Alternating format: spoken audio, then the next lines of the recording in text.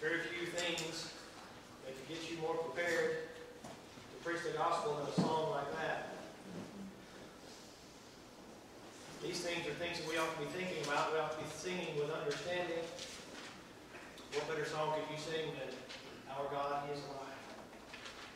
It's true, and it's a truth that we ought to proclaim and exemplify in our lives to any and all that we encounter. I'm so glad that you're here this morning. Thank you so very much for being here. Your attendance is encouraging to all of us. So good to have you with us. We are studying this morning a simple word. One word. Except. Now, there are uh, many words in our language that have big implications. Uh, for instance, if. If is a small word with monumental implications. Paul would say in Colossians chapter 1, if you continue in the faith, verse 22, you will be unreprovable and without blame before him. That's a big word. That's a big if, isn't it? The Lord would say in uh, Mark chapter 16, 15 and 16, Whosoever believeth and is baptized. There's another word with big implications, a small word, and. Uh, that doesn't mean it's optional, but it's inclusive of both things spoken of. Small words can make a big difference. The word except is likewise one that makes a big difference and is full of powerful implications. So I hope that you're prepared today to stay with me. I hope that you've come hungry to nourish upon the Word of God because that's what we're going to do this morning. The word except. Every word of God. Proverbs 30, verse 5. Every word of God is pure. How many words of God? A few. No, no. Every word of God. Brother Jerry gave us a little bit of insight this morning in the James class into some of the, the intricacies of the Hebrew or the Greek language as it pertains to the, uh, uh, sometimes, uh, the inadequate translation in English. There are some things in the Greek uh, that uh, uh one, one Greek word can be translated by Uh, uh, uh, various different English words just to try to understand uh, what is being said and vice versa. Brother Guy Woods has a small pamphlet, I've got it at home. It says how to read or understand New Testament Greek. And it just gives you a little bit, just a little scratching the surface of some of the words. Like in, in John chapter 21, just let me give you an example. John chapter 21, as the Lord appears to Peter and the, and the gentlemen as they're out there fishing and they see the Lord, and Peter runs up to him. And the Lord asked Peter, Peter, lovest thou me? Well, you've got lovest thou me three times, but what you don't know is the first two times it's agape thou me, and then the last one is phileo thou me. That's two different Greek words, but they were translated as love in the English. Well, love is a good word, but it doesn't truly convey the power that is spoken in the Greeks in that, in that text. one word can make a huge difference. Now, the word except is likewise a very powerful word. Every word of God is pure. So as that Greek word was translated into the English, we need to pay attention to all of them. It conveys quite a message in and of itself. Let's look at it. Psalm 127, verse 1. Except the Lord build a house they labor in vain that built him. Isn't that a phenomenal, far-reaching, powerful implication? Except the Lord build the house. Now, Hebrews chapter 3, he would say, For every house is built by some man, but builder of all things is God. Verse 4. What house is being spoken of in Hebrews 3? The church of the living Christ. And that is the house that was built without hands, Daniel 2 and verse number 45.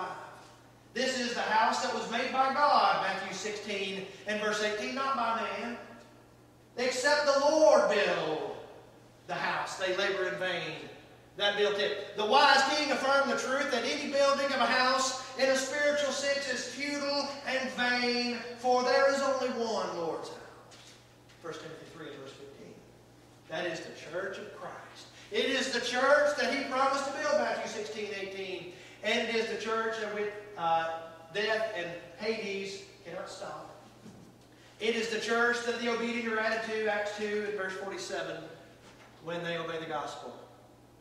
Thus, the truth is that only the household of the Lord is approved and stable as it pertains to a spiritual house. Except the Lord build the house. Any house is vain and worthless except the Lord build it. That's the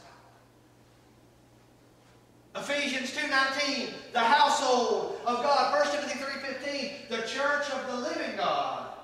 Hebrews chapter 12 would say it's the church of the firstborn.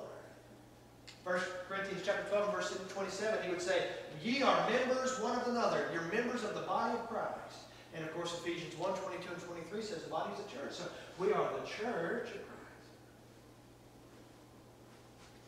Every other religious institution Why are you guys so mean? Why are you guys so hard on these denominational churches? They're good people. By whose standard are they good? There's an old saying that some folks would say, and that's uh, use Bible terms for Bible things, right? If we're going to talk about good, let's talk about good. What is good? Good must be considered good by God if it is good, regardless of what man thinks of it. I can think my neighbor is a good, moral person by my standards, but they may not be faithful to God. If they're not faithful to God, they're rebellious to God. Therefore, by God's standard, they're not good. So we have to understand that these religious folks that we associate with, they might be moral people, but if they're not submitted to Christ and His authority and members of His church, then they are practicing vain religion. Matthew 15, 8 and 9. Notice, in Matthew 15, in the same context, he said, But he answered and said, Every plant which my heavenly Father hath not planted shall be rooted up. You look at that context, Matthew 15, and you tell me that that is not in the context of false religion. Look at verses 8 and 9. In vain do they worship me, teaching for doctrines the commandments of men. Every plant that my Father has not planted shall be rooted up. Folks, every man-made religion is doomed. Except the Lord build the house. They labor in vain that built it. Isaiah chapter 1 verse 9. Except the Lord of hosts had left unto us a very small remnant, we should have been like unto Sodom, and we should have been like unto Gomorrah. The nation of Israel the nation of Israel was almost in full apostasy, were they not? Almost the entirety, throughout their entire history, there has been a very small remnant that were faithful. The, the vast majority, though, were in full apostasy, the Lord had left us a remnant. The entirety would have been like unto Sodom Can you see the power of that? We would have been like unto Sodom and Gomorrah, except a very small number. Romans chapter 11, he would say something similar. Lord, they've killed thy prophets and dig down thine altars, and I am left alone. This is a quote from the prophet, and they seek my life. But what saith the answer of God unto him? I have reserved unto myself 7,000 men who have not bowed the knee unto the image of Baal. The poor prophet. Can you imagine? We think we live in a, a pretty bad society now, and granted, we do. To some degree. This prophet had acknowledged to God that there was no other faithful person in all of Israel but him. And God said, Don't think you're alone. There are 7,000 out of hundreds and hundreds thousands. There's 7,000 that have not bowed the knee to apostasy. 7,000. You're not alone. So this is where Paul gets the quote, and this is where we're speaking of in Isaiah chapter 1, verse 9. Even so then at this present time, there is also a remnant according to the election of grace. Folks, there was a remnant then, and there's a remnant now. Are you the remnant or are you the majority? Well, everybody can't be wrong. You want to bet? Matthew chapter 7. Many are they that enter in thereat, speaking of the wide gate, verse 13 and 14. You know, somebody said that to me one time. Well, everybody can't be wrong. I said, have you ever read Matthew chapter 7, 13 and 14? It specifically states that almost everybody is wrong as it pertains to religion. Now, that ought to get your attention. And if that doesn't get your attention, listen to this, verse 21. Not everyone that saith unto me, Lord, Lord, shall enter into the kingdom of heaven, but he that doeth the will of my Father who is in heaven. For in that day they shall say to me, Lord, Lord, did we not prophesy in thy name? And by thy name do many mighty works? And cast out demons, and he will say, Depart from me, I never knew you. Now, are these people religious people? Oh boy. These are people that fully expected to receive the Lord's blessing. But guess what? Depart from me, I never knew you. That ought to get your attention. Number one, most folks are going to be lost. Number two, a lot of religious folks are going to be lost. Except the Lord had left us a very small remnant. Daniel chapter 3. Except we snare him, except these young men be taken in a snare, just as they will do to Daniel, we can never have anything against them. Look, notice verse 28. Then Nebuchadnezzar spake and said, Blessed be the God of Shadrach, Meshach, and Abednego, who had sent his angel and delivered his servants that trusted in him, and have changed the king's word, and yielded their bodies that they might not serve nor worship any God except their own. So Shadrach, Meshach, and Abednego, they were instructed. There was a massive 70 cubit high statue made. And Nebuchadnezzar made a decree that anytime they heard the psaltery, the dulcimer, a stringed instrument, anytime they heard it, they were to fall down and worship this image. Well, guess what? Not for the faithful. So this is the only way that they could they could ensnare these men, just as you'll see, that's the only way they could get Daniel. So what's the result? They get these men and they bring them in to Nebuchadnezzar and they tell him they didn't bow down. And Nebuchadnezzar was furious. It says his countenance changed.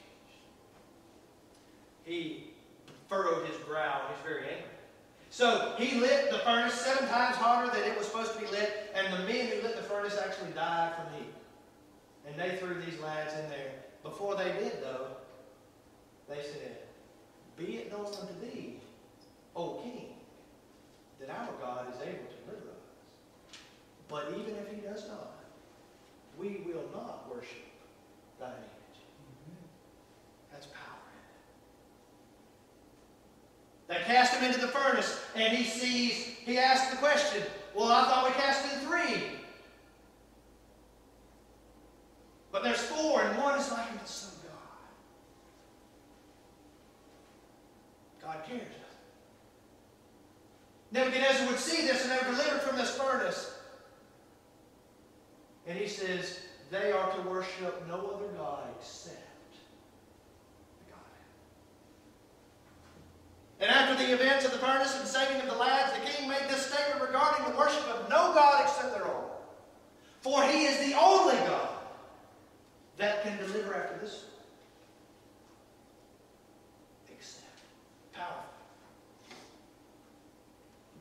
Since Jehovah proved himself to be the only one that could save, he alone was to be served by them. You know, in the very next chapter, Nebuchadnezzar will say something along the same lines. Chapter 4, is when Nebuchadnezzar lifted up his, his mind. He walked around his palace and he said, Oh, look at what I've got. That's when he was humbled, wasn't he? His mind departed from him and he went out and dwelt with the beast for seven years. And he said, And after those days, my understanding returned unto me, and I blessed the Most High, and I praised and honored him that liveth forever. He praised and extolled the God of heaven, verses 35 and 36, after the realization that he was wrong. He humbled himself. Only took him seven years. How long has it taken us? Except Daniel 4 or 6 regarding him and the lions. Then the presidents and the princes sought to find occasion against Daniel concerning the kingdom. But they could not find any occasion nor fault for as much as he was faithful. Neither was there any error or fault found in him. Then said these men, We shall not find any occasion against us, Daniel, except we find it against him concerning the law of his God. You know what? The law of his God was a little different than the law of the land. What's new? The law of Jehovah is a little different than the law, law of the United States, especially that Supreme Court who thinks they can make laws instead of enforce. Guess what? We ought to obey God rather than men. Acts 5.29. The law of Jehovah is here. The law of man is here. Don't forget that. So they could not find any fault against him except it being this. The only way these men could find a fault with Daniel was by making a religious decree, knowing that Daniel would never compromise. Now that should tell you something to him. They knew it was going to be a snare to him because they knew he wouldn't compromise. What would they do today? Well, half these so-called Christians, oh, they'll just compromise. They won't. They wouldn't give up their lives for this. Some of us would.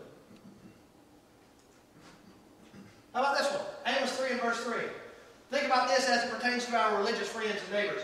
Can two walk together except they have? When you're little, uh, you've got a child and, and you're walking with her, and she's walking hand in hand with you, is she going a different direction than you? You're guiding her, aren't you? With your strong hand. You're guiding her. Can two walk together in a spiritual sense? That's what we're talking about. Can two walk together except they've agreed? In Amos chapter 5, God is going to reveal to them the nauseating nature of their sacrifices that are polluted by their rebellion. They're not walking with Him, are they? Spiritually. And it's rhetorical. The answer is no. You can't walk together. One cannot walk with God without faithfully complying with God's commands. Thus, one cannot walk with God unless he agrees with God. And when Abram was 99 years old, the Lord appeared to Abram and said unto him, I am the Almighty God. Walk before me and be thou perfect. Same concept. These are the generations of Noah. Noah was a just man and perfect in his generation. And Noah walked with God. Noah was faithful. What about this? Matthew 5.20. For I say unto you that except your righteousness shall exceed the righteousness of the scribes and Pharisees, you shall in no case enter the kingdom of heaven. Here we have another word, except. You will not enter the kingdom of heaven. Except your righteousness exceed that of the scribes and Pharisees. Now what does he mean? You cannot enter the kingdom of heaven unless this is true.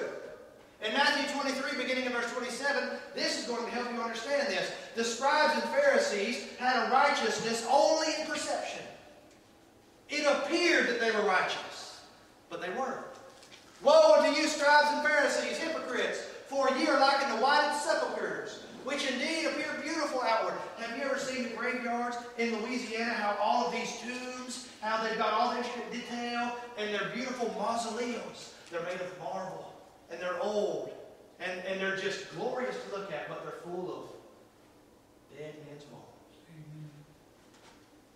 But they are beautiful outward, but are within full of dead men's bones and all uncleanness. Even so, ye also outwardly appear righteous, but within are full of hypocrisy and iniquity. Let me ask you a question. In order to be righteous, must you only appear righteous, or must you genuinely be righteous? Simple question. You know the answer. 1 John 3 verse 7. Let no man deceive thee. He that doeth right, he that doeth righteousness is righteous. So the scribes and Pharisees' righteousness was only in appearance. Now, what does that say of us? Ours has to be genuine. It can't be an, uh, an apparent righteousness.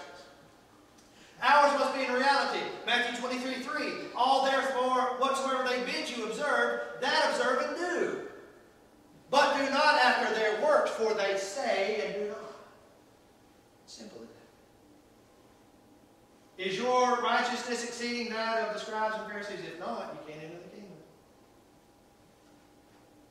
Little children, let no man deceive you. He that doeth righteousness is righteous. What about this one? And verily, and, and said, Verily I say to you, except you be converted and become as little children, you shall not enter the kingdom of heaven. Let me rephrase it. You cannot enter the kingdom of heaven except you be converted. So do we understand, are we getting a grasp of the unyielding nature of this word? You cannot do something except it be this way and only this way.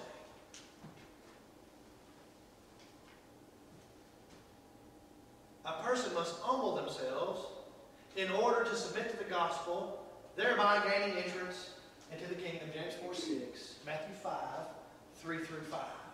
Blessed are the poor in spirit, for theirs is the kingdom of heaven. Blessed are the those that do, That, that mourn, for they shall be comforted. Blessed are the meek, verse 5. Those are all speaking of the same person, right? They are.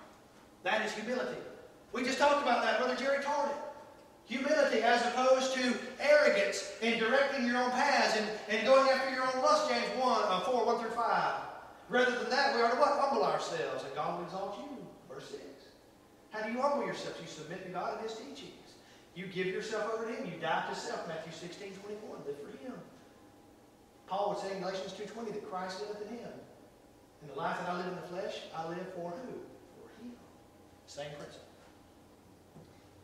Uh-oh. About this one? Here we go.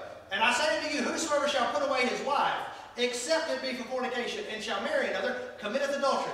And whoso marrieth her which is put away doth commit adultery, Matthew 19, 9. Here is the text that so many of even our own so-called brethren have said that, you know what, that must all be Old Testament teaching because that, that, that steps on my toes a little bit. No. You can't just write it away, can you? You can't just send it on down the line, can you? It's still there. Let me rephrase it. Any marriage after a divorce results in adultery, except the guilty be put away for adultery, fornication. That's the only exception. Any subsequent marriage after a divorce leads to adultery except the innocent have put away the guilty. That's the only exception.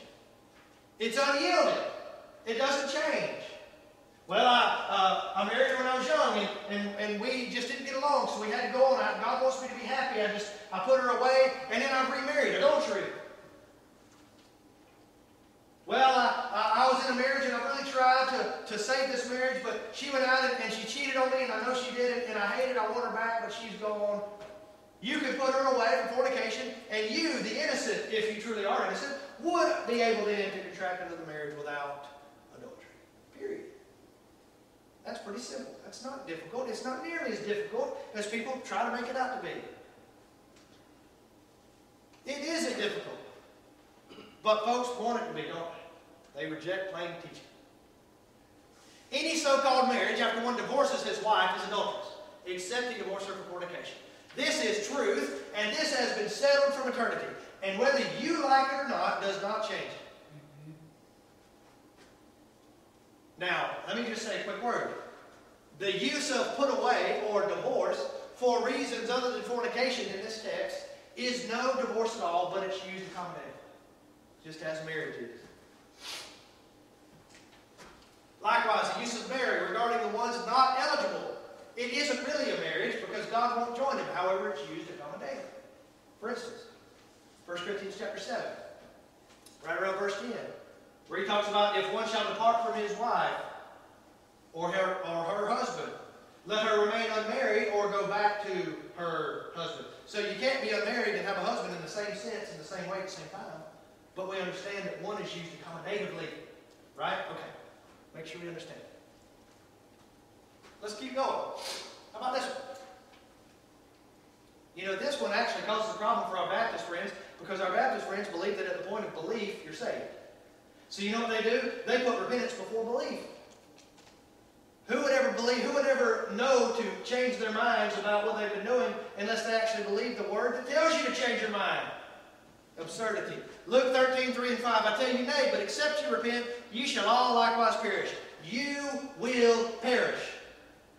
Except you repent. One condition, right? We're understanding this, I hope. Powerful. It is absolutely impossible for God to save man unless man repents.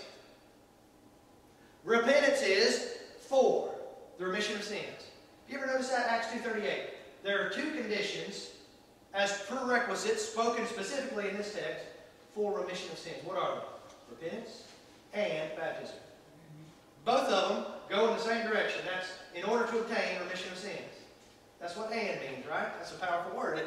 For repentance is in order to obtain remission of sins, just as baptism is, and it's commanded by God for all men everywhere to repent, Acts 17.30. I say that sometimes. You know what that means? That means you. That means now. That's what it means. What about John 3 and verse 2? Sorry for the small text. This same came to Jesus, Nicodemus by night, said unto him, Rabbi, we know that thou art a teacher come from God, for no man can do these miracles that thou doest, except God be with him. See, Nicodemus understood this, didn't he? These folks understood the nature of the miracles performed. Folks, they could not do these things unless God was with them. That is the purpose of them. Confirmation of the message, right? That's why they were here.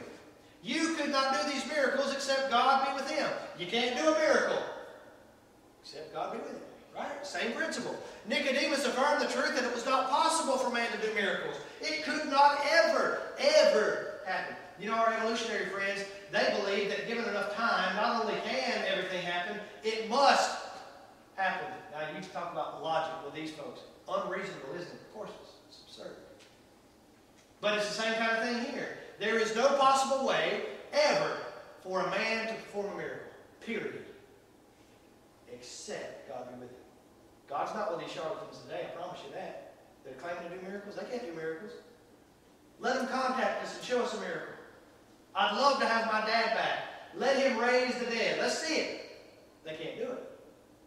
Jesus could do it. Paul did it. Peter did it. They can't do it. God's not with them. Through mighty signs and wonders by the power of the Spirit of God, so that from Jerusalem and round about Illyricum I have fully preached the gospel of Christ. Through mighty power, Paul preached it. Was, was God with Paul? Well, obviously, he proved he was. Isn't that what the Lord said in John 8? You don't have to believe me, but believe me for the works themselves. If you don't believe my word, look at what I do and know that I couldn't do it unless God was with me. That's what the blind man said in John 9. He understood. Acts 2.22, you men of Israel, hear these words. Jesus of Nazareth, a man approved of God among you by miracles and wonders and signs, which God did by him in the midst of you. What's he saying now? Which you yourselves also, you know that. Since the world began, it was not heard that a man opened the eyes of one that was born blind. If this man were not of God, he could do nothing. John 9, 32 and 33. Let's keep going. John 3 and verse 3. Jesus answered and said unto him, Verily, verily, I say unto thee, except a man be born again, he cannot see the kingdom. Verse 5 says, Except a man be born of water and the Spirit, he cannot enter the kingdom of God. Let me ask you a question. Are these verses not saying the same thing in a slightly different way? Yes. Born again is born of water and the Spirit. We're going to tell you what that means in just a minute. A man cannot enter the kingdom of God except he's born again. Allow the Bible to tell you what that means. I've said that so many times. Don't you love the Bible? You know why? Because it'll tell you exactly what you need. You don't have to get, well, I think to be born again, ooh, stop. Doesn't matter what you think. What matters is what God says. And God says, seeing you've purified your souls and obeying the truth through the Spirit unto unfeigned love of the brethren, see that you love one another with a pure heart fervently. Being born again, not of corruptible seed, but of incorruptible by the Word of God. Now let me ask you a question. John 3, to be born of the Spirit, verse 5. Is that not the same thing as being born or begotten by the Word of God? 1 Peter 1.23, yes it is. Well, how are you born of God if you're born of the Spirit? Uh, of, his, uh, of the Word of God, because the Word is a product of the Spirit. John 6, 63. and to be born of the Spirit is to be begotten by the Word. For the words are spirit and life. This is the new birth that puts one into the church. Not by works of righteousness which we have done, but according to His mercy He saved us. Who saves now? Man saves himself. No. God saves man when man responds to the instructions of grace and the obedience of faith. By the washing of regeneration and renewing of the Holy Ghost. Well, God saved me. Well, how did He save you? Well, save me by the sinner's prayer. That's not what the Bible says. The Bible says if God saves you, He does so through washing and regeneration. That's the exact same thing we just saw in John 3 5 and 1 Peter 1 23. Led by the teachings of the Spirit to be baptized into one body, wherein you are forgiven of all trespasses. The regeneration, by the way, speaks of the reign of Christ. Matthew 19 28. So you are literally transformed into a regenerated state that's in Christ when you are baptized. If one is in the kingdom, he has been born of God, John 1.13. And that is only through the gospel, Acts 2, 41, 47, Galatians 3, 26, and 27. This teaches the exact same truth that Romans 1.16 teaches, that the exclusive means of saving man is the gospel of Jesus, and there is no other way. Paul said to the centurion and to the soldiers, Except these abide in the ship, you cannot be saved. Paul's on his way to Rome? He told them, don't, don't do it. Let's not go this way. Let's not do this at this time. Not, not under these circumstances. They did. They found themselves, these folks were certain to perish. There's only one exception. You will die. Except you abide in the ship. How relevant is this to the New Testament church? Except ye be in the Lord's church, you cannot be saved. Except the Lord build the house, they labor in vain that build it. What's the difference? Blessed be the God and Father of our Lord Jesus Christ, who hath blessed us with all spiritual blessings in heavenly places in Christ, Ephesians 1 3. Which blessings are outside of Christ again? You won't find them. not spiritually. And if a man also strive for masteries, yet is he not crowned, except he strive lawfully. Cheating doesn't usually prosper, especially if you get caught. Isn't that right? You see these guys who, who engage in sporting activities and they're athletes and they, they got caught cheating. Well, then they're stripped of all of their accomplishments and they're, they're walking around their head hung low. You've got to strive lawfully, don't you? Same principle for us in our life. We have to strive, A, and we have to do so in a certain way. What's that? Lawfully. In accordance to the teachings of the Lord. Mm-hmm. Paul explains that a man cannot be crowned except he do so lawfully. In this life, we want the crown, don't we? If so, we must live in accordance to the law of Christ. So speak ye, and so do, as they that shall be judged by the law of liberty, James 2 and verse 12. What about this one? Revelation chapter 2. Remember, therefore, from whence thou art fallen, O church in Ephesus, and repent and do the first works, or else I will come unto thee quickly and remove the candlestick out of thy place, except thou repent. Guess what, Ephesus? Your church is going to be removed from fellowship with me, says the Lord, except you repent.